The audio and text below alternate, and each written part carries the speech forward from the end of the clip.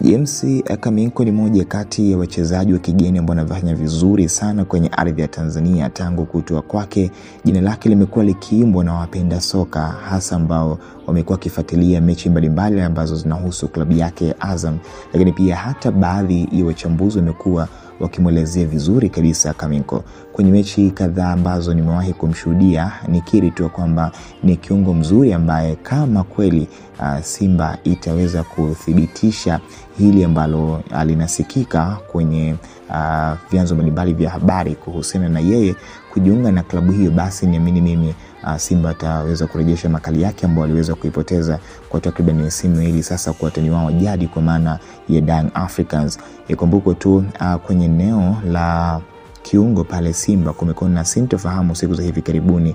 Uh, asipokuwepo Sadio Kanute mambo yanakuwa ni tofauti, lakini akiwepo mambo yanaonekana kuna angalau auheni ndani ya uwanja. So kwa kupitia hilo, moja kati ya watu ambao ni waheshimu sana ndani ya klabu ya Simba Sports Club ambao wanafanya mambo yao chini kwa chini, hasa zinapofika nyakati za usajili. Crescentius Magori, wengi tunamuita kama jasusi wa klabu ya Simba Sports Club, amepania kwelikweli kumchomoa James Akamingo kwenye klabu ya Azam na kumleta kwenye uh, klabu ya Simba Sports Club. Ripoti za chini chini zinasema kwamba tayari kiongozi huyo ameshaanza taratibu zake za kujua namna gani ya kuweza uh, kukidhi mahitaji ya Azam hasa ya kifedha.